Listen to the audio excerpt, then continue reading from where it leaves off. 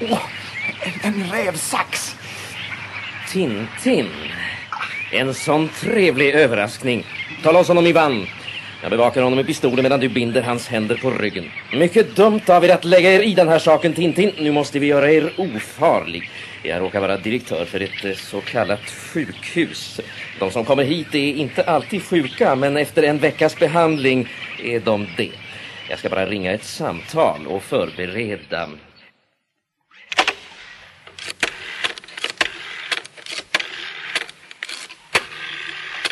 Elden i öppna spisen. Mm.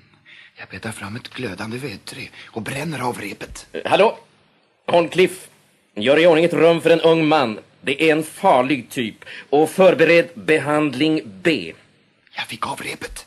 Ja, visst. Ja, vi kommer om en stund. Så där ja. Nej, Så där ja! ja. Oj, han har en pistol.